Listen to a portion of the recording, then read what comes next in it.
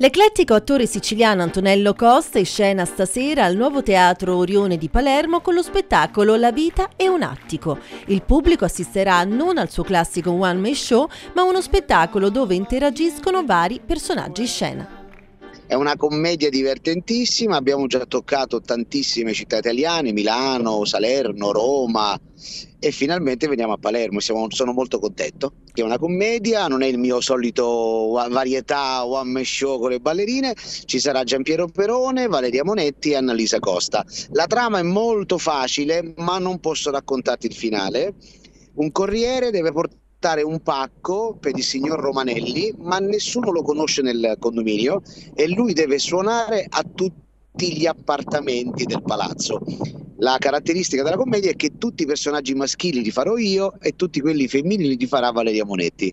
E c'è poi il finale a sorpresa che non ti posso raccontare, ma è molto molto divertente, ma posso dirti che alla fine, dopo aver riso un'ora e mezza, molti piangeranno.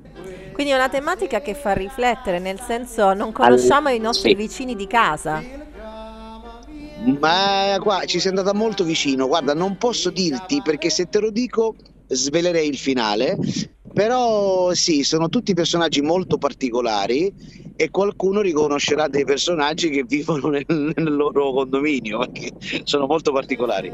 Una tematica che tocca la commedia, che mi piace molto, è quella che la tecnologia che doveva migliorare la nostra vita, secondo me la sta peggiorando perché ci allontana. Noi ci stanno facendo diventare sempre più persone singole, solitarie, perché col telefonino puoi fare tutto. E invece quello che fai con gli amici lo puoi fare solo con gli amici.